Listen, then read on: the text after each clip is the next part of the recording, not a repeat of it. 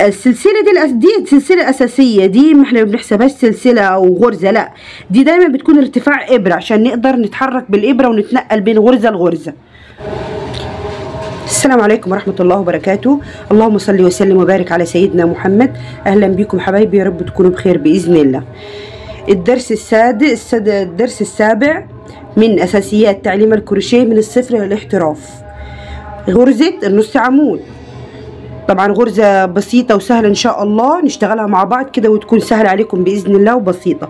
طبعا بتشتغل كل بتدخل في كل مشغولات الكروشيه وشغل ال hand made.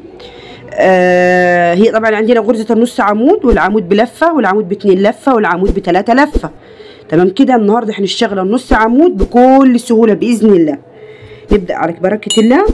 معانا طبعا خيط سميك زي ما إحنا متعودين. تمام كده؟ أهو. نشتغل الدايرة عقدة البداية بتاعتنا؟ أهي. خلاص كده. إبرة رقم خمسة. إبرة رقم خمسة. تمام كده؟ كده ارتفاع هنرتفع كده. أول سلسلة دي ما بنحسبهاش. أول سلسلة دي ما بنحسبهاش. خلاص كده هنرتفع عشر. سلاسل. واحد اتنين تلاتة أربعة خمسة ستة سبعة تمانية كده تسعة عشر.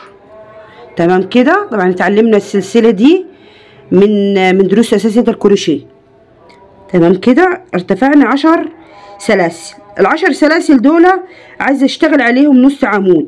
طب أنا هشتغل غرزة النص عمود دي إزاي؟ بكل سهولة كده. شايفين الخيط الخيط اللي معانا أهو؟ نلف الخيط على الإبرة. نلف الخيط على الإبرة. نيجي ندخل في أول غرزة هنا مش اللي هي بعد الإبرة دي؟ لا دي ما بنشتغلش فيها زي ما إحنا متفقين. ما بنشتغلش فيها. بنشتغل في الغرزة اللي وراها على طول أهي.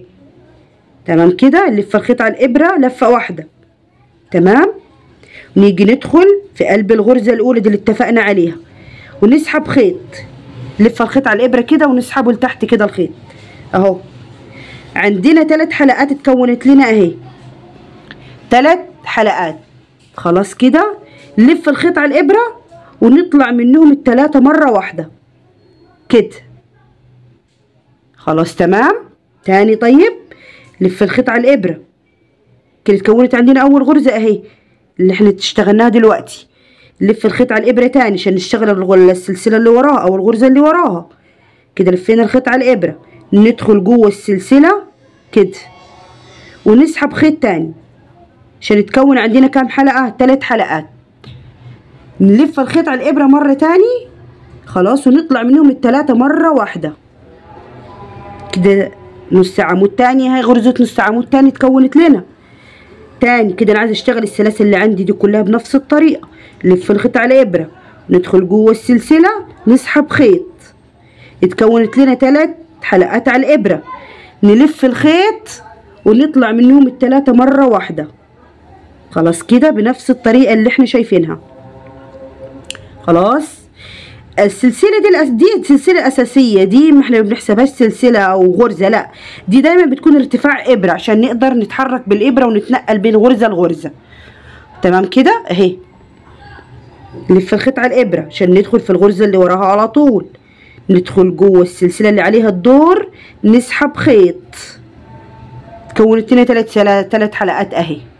نلف الخيط على الإبرة تاني ونطلع منهم التلاتة مرة واحدة بخطاف الإبرة. تمام؟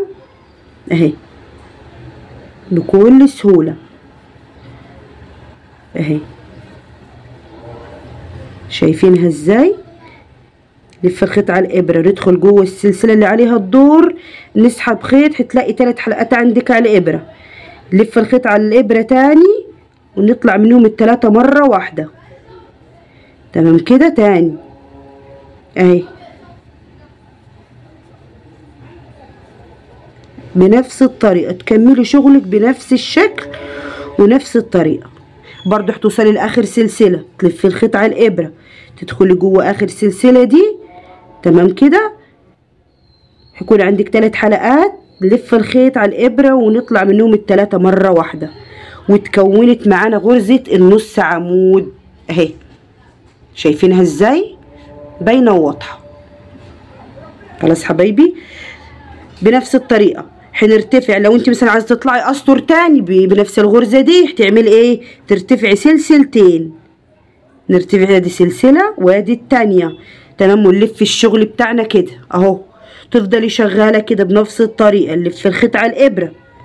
تمام؟ ارتفاع النص عمود سلسلتين. لف الخيط على الإبرة تاني. ندخل جوه. أول غرزة.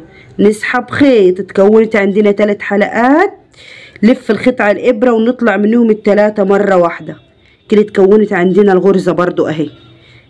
خلاص بنفس الطريقة ونفس الشكل نفس الموضح قدامكم. أهو. تمام كده؟